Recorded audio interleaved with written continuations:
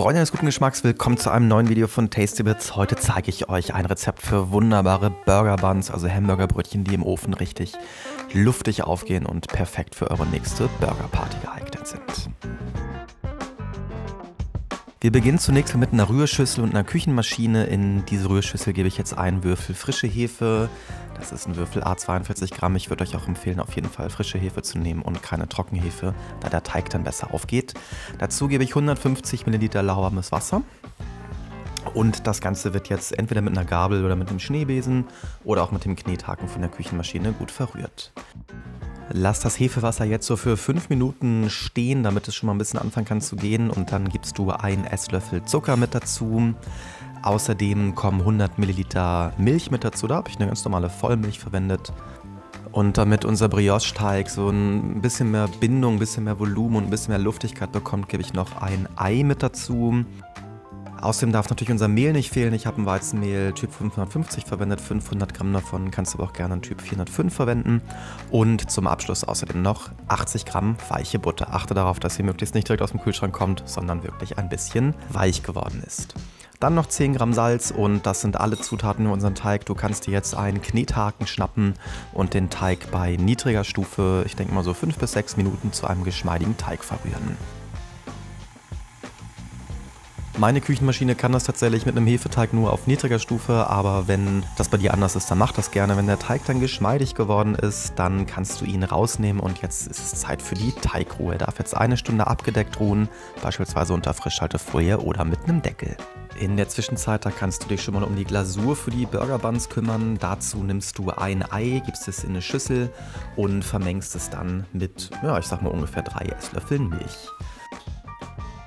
Ich möchte hier nochmal ein, zwei Sachen zu sagen, denn wichtig ist es, dass du diesen Schritt schon vorher machst, denn die beiden Zutaten sollten auf jeden Fall Zimmertemperatur haben. Warum das so ist, das verrate ich dir gleich. Aber jetzt nimmst du dir erstmal eine Gabel und verrührst diese beiden Zutaten gut miteinander. Wenn dein Teig dann eine Stunde gegangen ist, dann gibst du ihn auf eine bemehlte Arbeitsfläche, knetest ihn nochmal so ein bisschen durch. Er sollte schön geschmeidig sein. Falls er sich schlecht verarbeiten lässt, gib ein bisschen Mehl dazu und teile ihn in 10 gleich große Teile.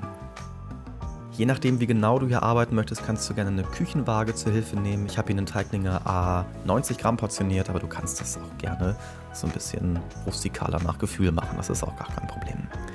Wenn du deinen Teig dann geteilt hast, dann nimmst du dir jeden einzelnen Teigling und rollst ihn hier auf so einer leicht bemehlten, aber nicht zu stark bemehlten Arbeitsfläche zu einer runden Kugel. Dann gibst du ihn einmal so ein bisschen ins Mehl, damit er dir gleich nicht an den Händen klebt, denn wir drücken ihn jetzt mit der Hand ein bisschen platt. Wir wollen hier so einen runden, möglichst runden Burger-Teigling bekommen. Gib das Ganze jetzt auf ein Backblech oder ein Gitterrost mit Backpapier und verfahr natürlich mit dem restlichen Teig auch so. Mehr als sechs Burger Buns würde ich nicht backen pro Backblech, weil sonst könnte es passieren, dass sie aneinander kleben. Einfach abdecken jetzt und dann eine Stunde nochmals ruhen lassen. Und du siehst, jetzt ist der Teig richtig schön aufgegangen. Der Teig hat die Form angenommen von den späteren Burger Buns. Die gehen im Ofen noch ein bisschen mehr auf. Bestreich sie jetzt mit dieser lauwarmen Mischung aus Ei und Milch. Wichtig ist, dass diese Mischung lauwarm ist, beziehungsweise dass sie Zimmertemperatur angenommen hat, weil sonst könnte es passieren, dass dein Teig durch den Temperaturunterschied zusammenfällt. Ja, wenn du dann alle Teiglinge bestrichen hast, dann können wir sie gerne auch verfeinern mit ein bisschen Sesam. Ich habe hier ganz normale Sesamsaat verwendet.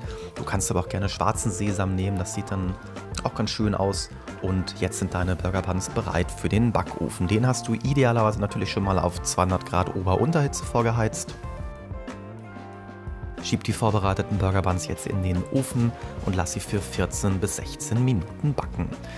Dabei achte immer mal ein bisschen darauf, dass sie nicht zu dunkel werden, aber du siehst, sie gehen hier richtig schön auf im Ofen. Dann kannst du sie herausnehmen und abkühlen lassen und dann natürlich genießen mit leckeren Beilagen deiner Wahl. Ich bin auf jeden Fall gespannt, in den Kommentaren zu hören, was du am liebsten mit deinen Burger Buns machst oder welche Belege du am liebsten draufhaust. Lass mich das gerne mal wissen. Ich wünsche dir jetzt auf jeden Fall ganz viel Spaß beim Nachbacken und sag bis bald im nächsten Video.